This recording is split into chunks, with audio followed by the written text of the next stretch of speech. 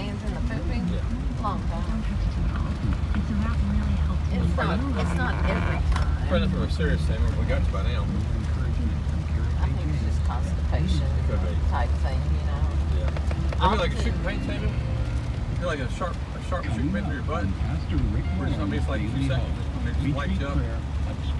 Oh, yeah. Huh? It's there when we have a yeah. I, I think I have. And when you have a fire and your life goes by and you're in trouble, then he's got you pull out often nausea, Like prayer is the last eye resort. rolling No, it should be your at night first when not choice. sleeping. Oh.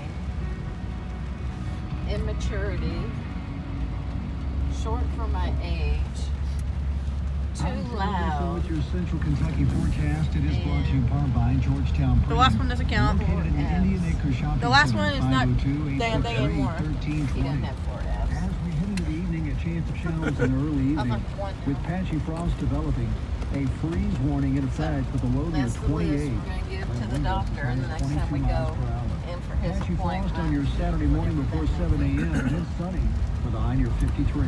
That's your forecast from That Light basketball goes 99. right behind this church. Well, that's what they're Well, that third? Uh-huh. It needs a net. The backboard, he said? Oh, there's a backboard. I know it. Andrew's in St. Louis. How are you, Andrew?